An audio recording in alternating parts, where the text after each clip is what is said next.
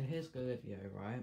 I think I have done something because you know unscrewed this to get the nut for the micro mark, but the nut was too small.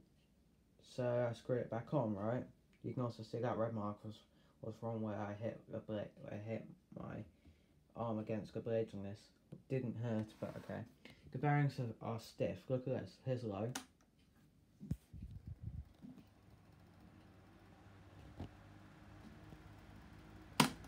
Medium. High. Now here's off. That is a really quick spin down time. Right.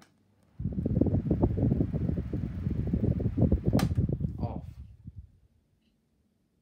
I think I did something. First engage oscillation and low.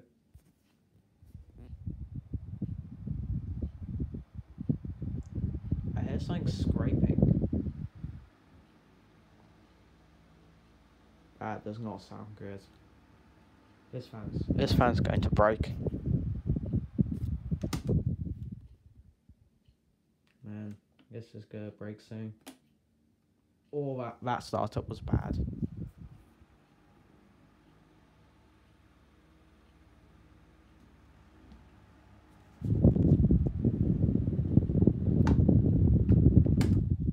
When you, when you put it here, it goes even worse. Look at this.